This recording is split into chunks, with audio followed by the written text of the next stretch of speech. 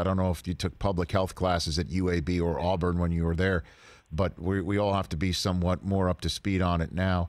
Are you quarantining a quarterback? How are you? How is uh, COVID affecting your gig this fall? Do you? Well, uh, we're taking the approach right now, probably uh, probably a less extreme measure, maybe Philly, if it's true. Now, this is this was my teenagers telling me that Philly was yeah.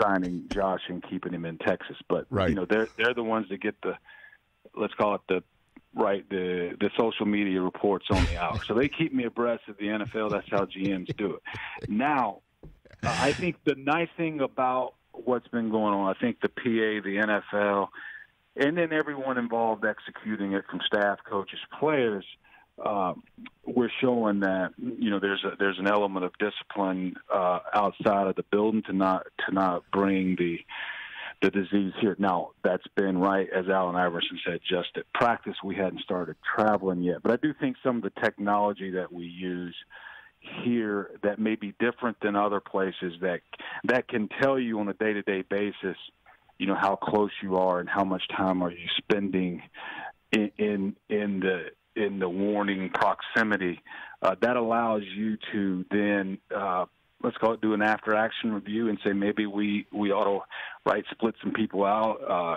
keep them a little bit farther apart, so that if there is uh, an unfortunate uh, outbreak within uh, you know each player isn't at that point in a warning zone. So we're going to kind of take that approach early and and and see how it works. But we definitely have discussed it on a, on a week to week basis on on what is the best measure to make sure key positions.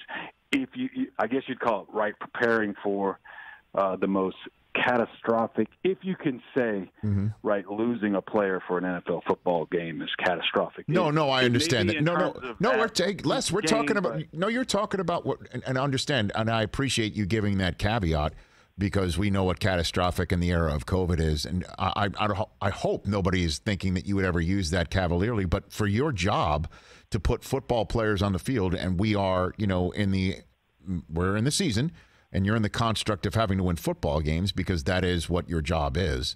No, the, having having basically Jared Goff testing positive on a Saturday, that would be um, catastrophic. Certainly, if it's before an, NF, an, an, NFC Championship game, you know what I'm saying? Like that's the sort of thing that that I'm wondering how a general manager can plan for.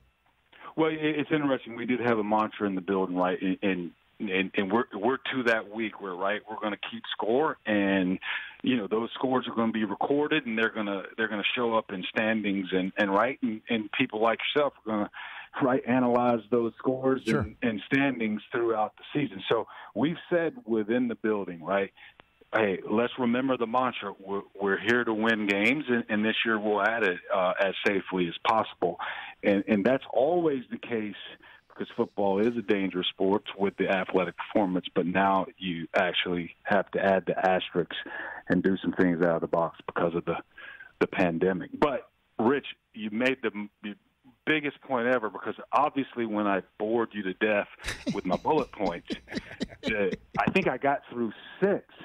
And the most important one was all of that that I just said that uh, y'all are probably going to cut out of your show or yeah. what have you, not making the house.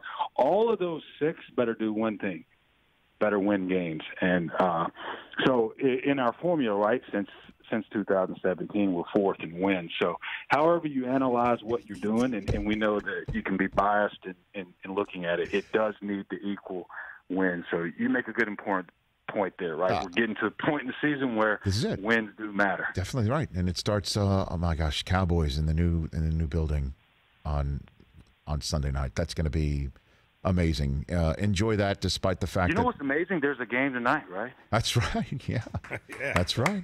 We have made it. Sure, y'all been talking about it. A little bit.